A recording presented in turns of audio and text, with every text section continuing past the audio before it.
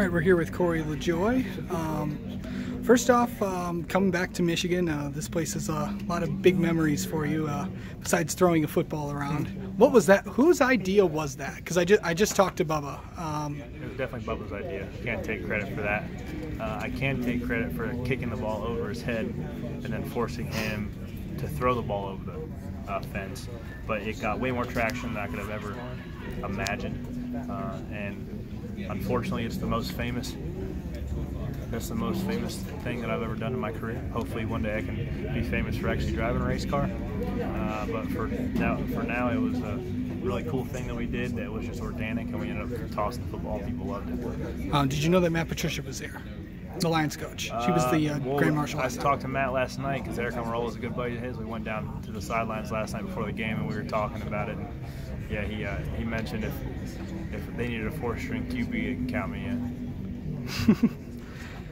Um, talk about the, your performance this year with Go Fast. Um, how how has it been so far? It's been pretty good. You know, it's been ups and downs, and uh, some weeks we have speed, some weeks we don't. It's just a matter of sometimes it's a little bit of attrition, letting guys make mistakes, and we try to have a scotch-free day where we don't make mistakes on pit road or whatever it is. So, um, you know, we're, we're pretty dependent on some help, whether it's guys making mistakes or wrecking, because we, we don't really have the speed right now to drive up there and pass a lot of cars. So.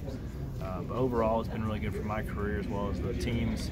The positives on both sides, so hopefully we can keep that going for the rest of the year. Um, what has it been like? You know, you you were one of the drivers that went to um, Edsel Ford's place in June. What was that experience like? Uh, that was pretty cool. We went we went to Henry Ford's house. Um, the Ford Ford family now has that are refurbished the whole thing, so that was really cool to see. Uh, yesterday we went and checked out the new Bronco at Ford Performance and the R&D Center, so that was uh, that was pretty neat as well. Uh, and yeah, so Ford definitely takes care of their drivers, and I'm happy to be one of them. Yeah. All right, Corey. Uh, good luck here this weekend, and thanks for talking to us. Thanks.